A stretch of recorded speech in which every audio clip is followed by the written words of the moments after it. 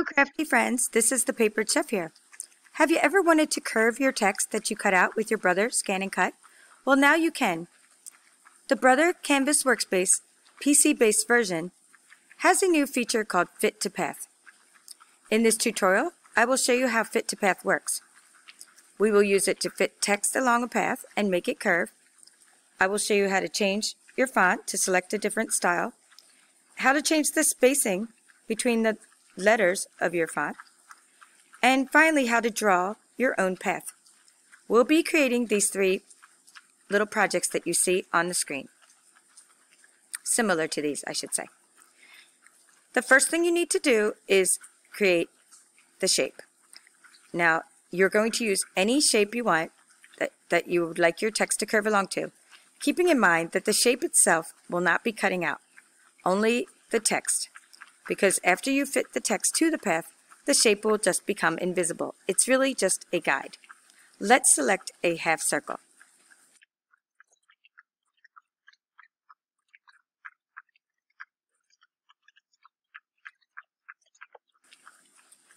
You can resize the shape if you want by dragging the handles. Next, we're going to create some text.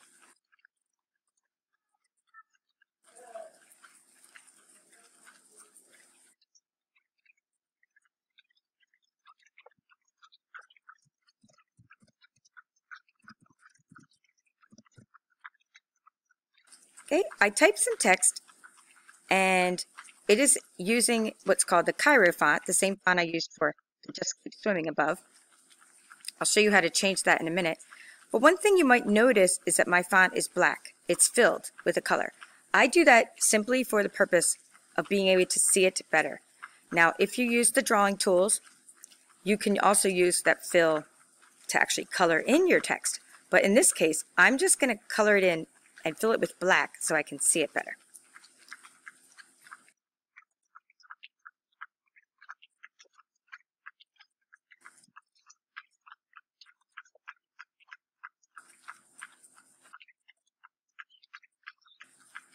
So notice I just went up to the fill bucket, I selected black, now look how much easier it is to read. So the next step is to select both the text and the shape, which will become your path. You select both of them by using your mouse and drawing over those. Now that they're both selected, you can go up to Edit, Fit to Path.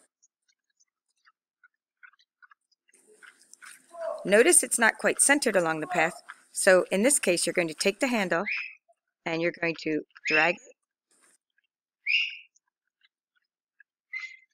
and fit it along the path. Now I'm calling that a handle. I'm not sure what brother calls it, but that little plus sign is how you move your font along the path. Okay, so the next skill I'm going to teach you is we're going to change the font and we're going to do this again for reinforcement. We're going to get a different kind of shape and we're going to change the style of font. Okay, so let's move this out of the way.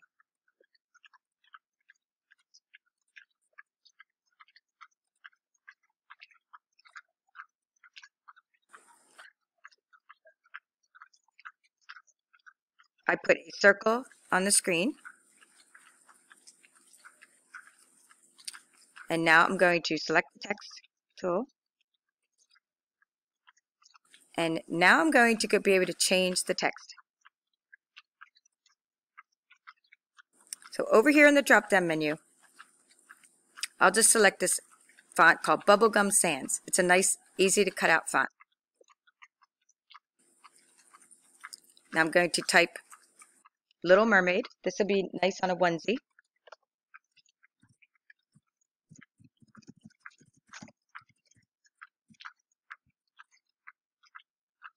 It would be nice on a onesie for a baby. Put little little mermaid on there.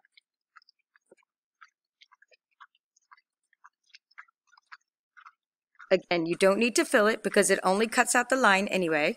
It's just going to cut the outer line. But I like to fill it to be able to read it. And I'm going to go ahead and just delete some other things off the screen.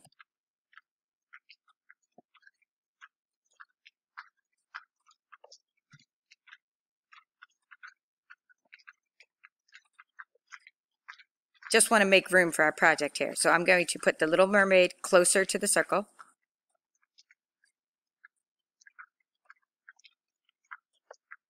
I'm going to select both of them and I'm going to go up to Edit, Fit to Path.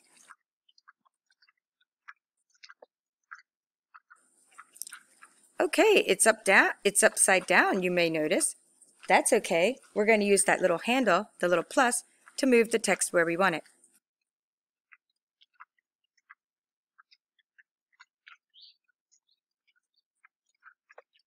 Okay, so I hope that part was a review for you on how to take, how to create, you're going to create a shape, then you're going to create some text, and then you're going to select both the text and the shape and go up to Edit, Fit to Path. So let's add a new skill, and that is character spacing. We're going to put some more spacing between these letters so that it's just easier to read, I think, that way. It and it all depends on the font you, you're using as well.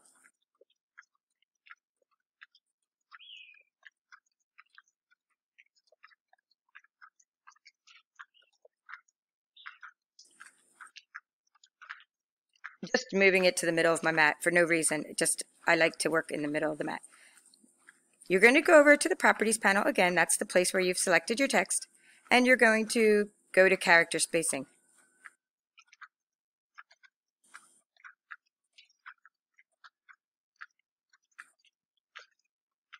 I increase my character spacing to 6, making, making it easier to read. Again, I need to go back and take that little handle and move it so my text is where I want it.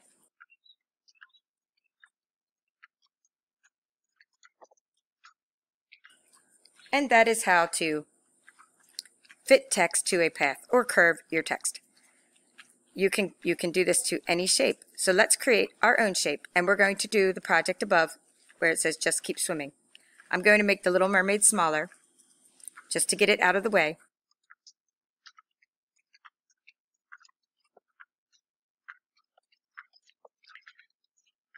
So the next skill you're going to learn is how to use the freehand path tool. This is the freehand path tool. It's really good to have a mouse when you use this tool or a touch screen where you can draw onto your screen. I'm going to select the freehand path tool and then I'm going to draw myself a little wave along my screen. I'm going to just, when I'm done drawing, I just stop pushing on my mouse. In other words, I'm just going to click once on the screen, draw, and when I lift my mouse, I'm done drawing. So watch me draw a curve.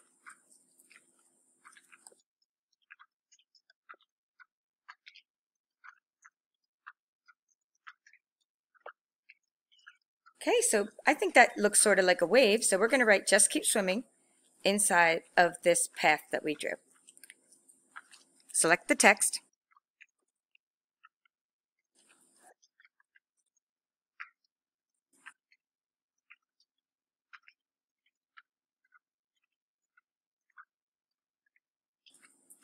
I'm now just changing the text.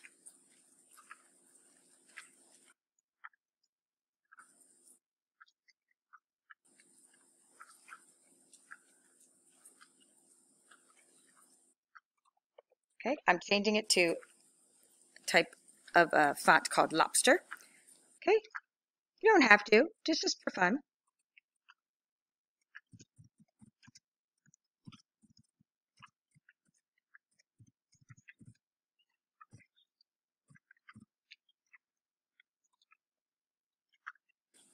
Okay. I typed just keep swimming.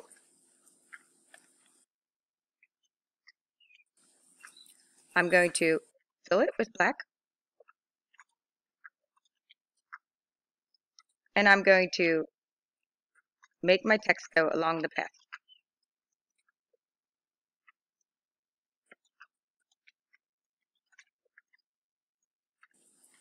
Okay, I selected both objects and I said fit to path.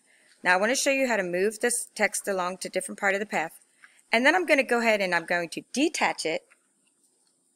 And I want to change it to another style of font because when I do work with script fonts, there's a lot more you need to do with those.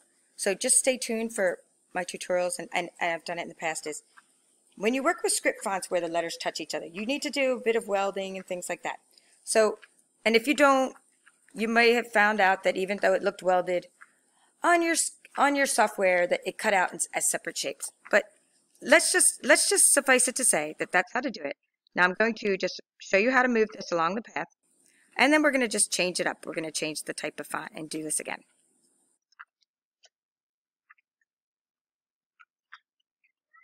So is that fun or what? You may hear a little kitty.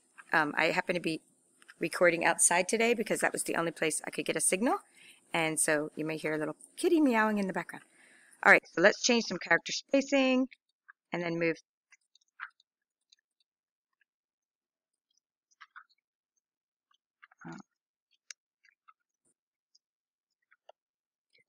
Move that again. Okay, you get the idea.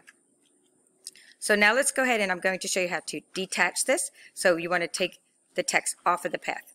This might be useful to do, say, if you have, maybe you're creating many of the same design, but they're going to say different text, like different people's names, but your path is going to stay the same. So you would detach the text, write a new name, attach it to the path, etc. So just keep in mind, this is a good thing to know from when you're mass producing your projects.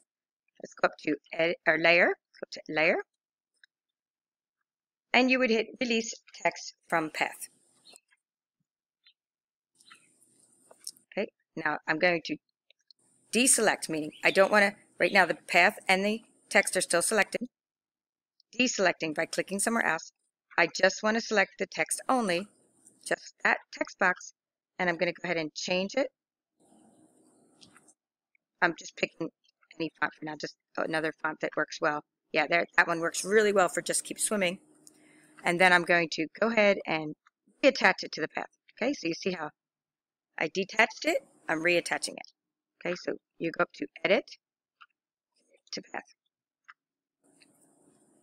And again, for review,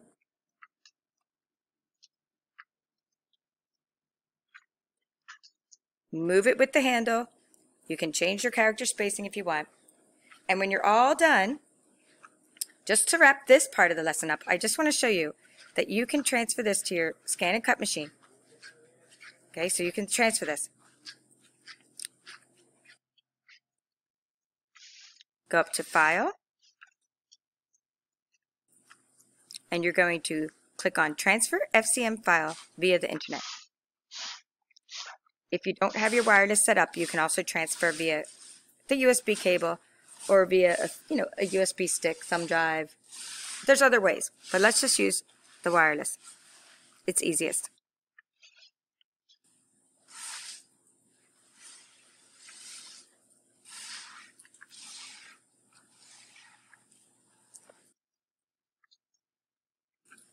Now it says the registered machine is ready to download the transferred file from the internet. And that's how you would then retrieve the file and cut it using using your scan and cut machine. Okay, so the next thing I want to show you is this. I showed you the new feature, but you may be used to going to the Canvas Workspace online, and I'm just going to show you how you would download this. All right, the first way to find the file that you need to download is if you happen to go to the canvasworkspace.brother.com you go to the web-based version of Canvas Workspace, you're going to see this message. The PC version of Canvas Workspace has been upgraded. Okay, that's how I saw the message. And you just download it right there. That's the easiest way to download it. Click, click download and then install it and run it. Maybe you saw something like this and you said, don't ask me again. And you're like, well, where is that message? Well, another way to download software from Brother is just to go to support.brother.com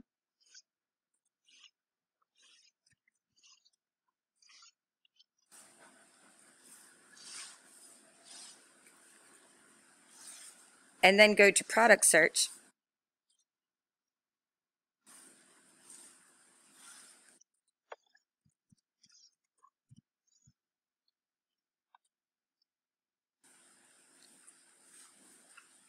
search for your model of machine.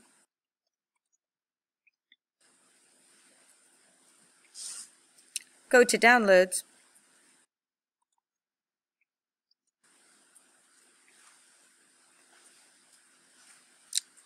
Select your operating system, type of computer, etc. Say OK.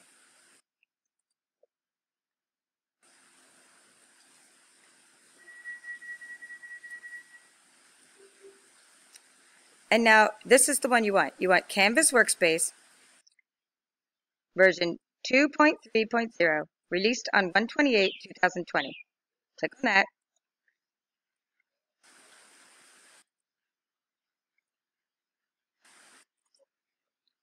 As you can see, it's compatible with many models, as you can see. Eh, select you agree, and it will start downloading. Okay, so that's how you get the software that I'm using right now, and then it's installed onto your PC. I apologize for all the rain now. I, like I mentioned I was outside, so now you can hear rain, but this is the best I can do with where I had to find an internet signal today. All right, so I hope you enjoyed this tutorial on how to use Canvas Workspace for the PC to curve your text, also known as fitting your text to a path or using the Fit to Path feature. Okay, if you have any questions or comments about this feature, let me know below the video. Ask questions, feel free to comment, and please go out and use this on your projects because this is a game changer, folks. We can do so much more with our designs now that we have this new feature. So thank you, brother, for listening to our request for this feature and, and implementing, because I know a lot of us have suggested that they do this. That's all for now. This is the Paper Chef.